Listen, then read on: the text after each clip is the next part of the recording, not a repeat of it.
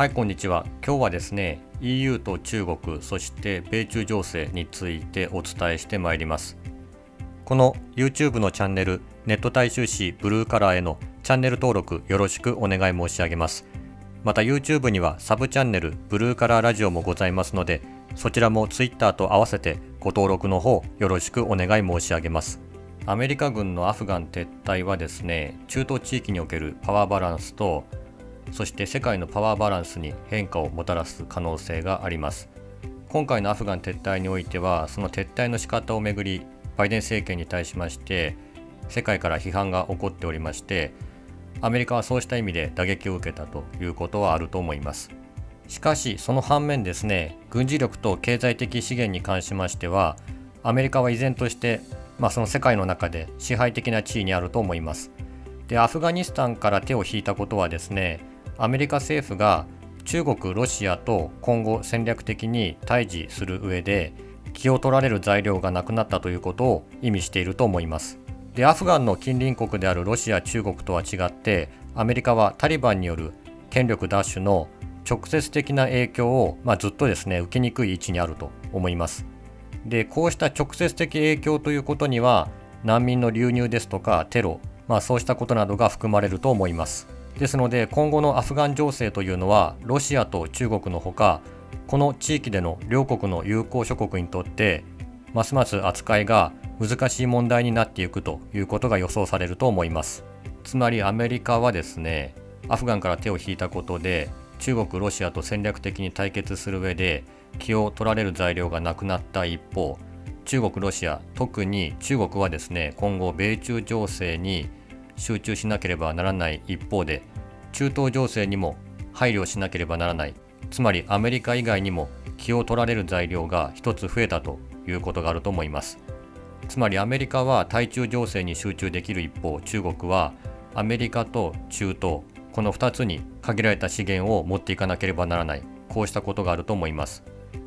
特にですねアフガニスタンには新疆ウイグル自治区の中国からの独立を目指す武装勢力東トルキスタンイスラム運動ですとかトルキスタンイスラム党のメンバー500人余りが活動していると言われておりまして特にですね中国との国境地帯にある北東部バダフシャン州やワハン回廊周辺に集中していると報道されております。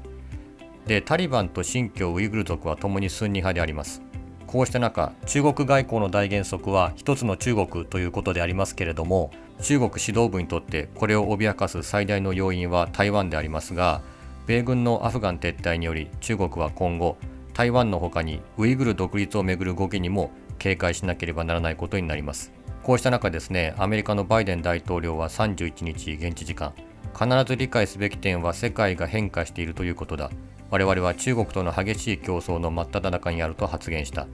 中国という現在と未来の脅威に対抗するためアフガニスタンという過去の脅威から手を引くという趣旨だ。このように報道されております。こうした中ですねこのアメリカのバイデン大統領の記者会見に合わせてですね世界は大きく動いたように見えます。まずアメリカから見てまいりますと米上院軍事委員会のジャック・リード委員長民主党ですけれどもは8月30日のビデオ会議でアメリカは台湾海峡や南シナ海における中国の活動を抑止したいと考えていると述べた。カルロス・デルトロ海軍長官も可能な限りあらゆる方法で台湾を防衛することは極めて重要だ。そのために我々は台湾に対するコミットメントを全面的に見直す必要がある。我々は台湾にできるだけ多くの自衛手段を提供することに注力すべきだと述べた。このように報道されております。そしてこの同タイミングで EU が大きく動きました。大期限ですが EU 議会初の台湾関係報告書最高レベルで台湾と交流を圧倒的多数で採択。欧州議会外交委員会は1日 EU で初となる台湾との政治関係に関する報告書を圧倒的多数全70票のうち60票賛成で採択した。投資協定や台湾にある EU 代表事務所に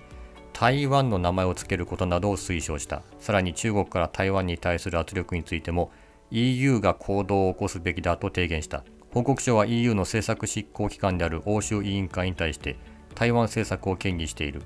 EU と台湾は自由、民主主義、人権、法の支配という価値観を共有し志を同じくするパートナーと表現し最高レベルでの台湾との公式交流を強化することを進めた。加えて EU 台湾関係を強化するために二国間投資協定の評価や交渉の推進を提言した。同書はさらに中国による台湾に対する領域侵犯や偽情報拡散キャンペーンなどの圧力に深い懸念を表した。この現状はインド太平洋地域の平和と安定に深刻な脅威をもたらしていると述べ EU が行動を起こすことを推した。そして台湾にある EU の外交事務を担う欧州経済貿易事務所の名称を中台湾 EU 事務所に変更することを提案した。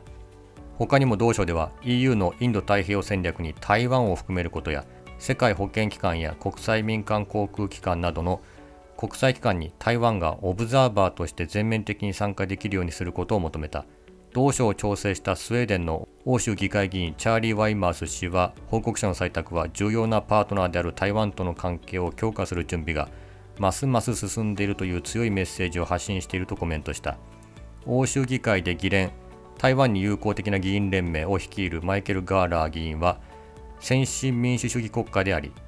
インド太平洋地域における重要なパートナーである台湾との関係を強化すべきだと述べた。外交委員会で承認された同報告書は今後欧州議会本会議にかけられる。このように報道されました。で昨今のですね EU 議会の情勢状況を見ますと EU 本会議でもこの可決成立というのは可能性が非常に高いように見えます。で EU 議会の決議というのは EU の機関に対しまして法的拘束力を持つということになると思いますのでそうなってまいりますと EU と台湾の関係強化のために二国間投資協定の評価や交渉の推進台湾にある EU 代表事務所に台湾の名前を付けることなどそういう流れになる可能性が強まっているように見えます。ですのでこの動きはですね明らかにリトアニアとチェコに EU として全面的に歩調を合わせているというですね意思を示しているように見えます。でさらに大きく見れば EU とアメリカは台湾をめぐり完全に歩調を合わせているというふうに見えます。